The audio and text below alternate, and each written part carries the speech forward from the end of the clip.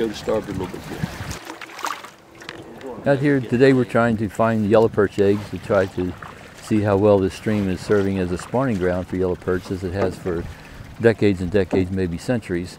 Um, historically, we've had more yellow perch eggs uh, in early years than we have now, and each year they seem to become a little bit less.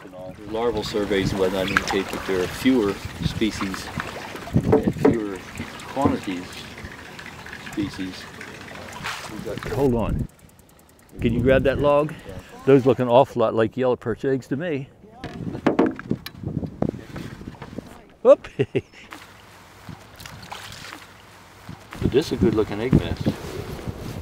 Well, these are pretty eggs, but I don't see anything in them. They're gorgeous, actually.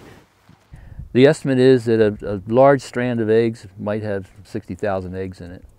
And of course, most of those are, are not going to make it because there are things just laying in wait to eat the baby fish. It's part of the process. They, they put out too much so that other critters can live too, and there's a balance. And as long as we don't interfere too much with that balance, it works fine. But we who walk erect and have opposing thumbs seem to get in the middle of things and mess it up. Some just don't let them dry out too much. To me, this is like, you know, just like a petri dish thing, only this is a huge petri dish. How in the world can this possibly work?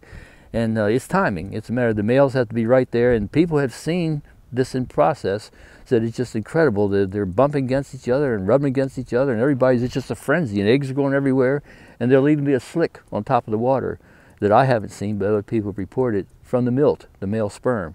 There's so much of it, that it makes like an oil slick on top of the water. So that's pretty cool. I started uh, surveying yellow perch here probably 10 or 15 years ago. I got my biology degree in, in um, yellow perch from the School of Hard Knocks, literally. And um, now I, you know, I feel pretty good about it because it's one thing that, that, that I do know about and that I can, I can share with other people. And um, there's not much about fishing that I can share with other people, but this is one of those things. Mattawoman has been designated by DNR a few years ago anyway as uh, one of the most uh, pristine nursery areas in the entire Chesapeake Bay network. And it's kind of neat to think that you know you live this close to something that's special.